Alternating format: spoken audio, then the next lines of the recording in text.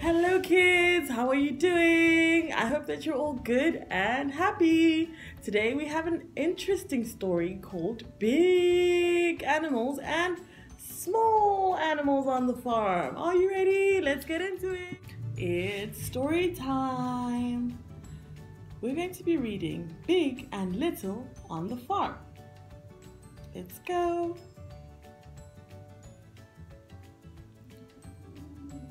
Am a big pig. I like big apples.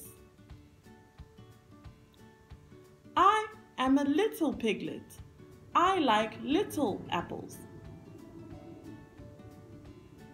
I am a big dog. I like big bones. I am a little puppy. I like little bones.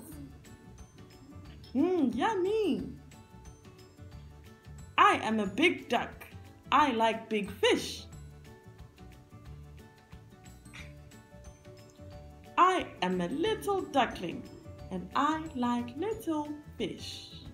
Mm, yeah, that was the end of our story of the big and little animals on the farm. I hope that you enjoyed it, boys and girls. Until next time.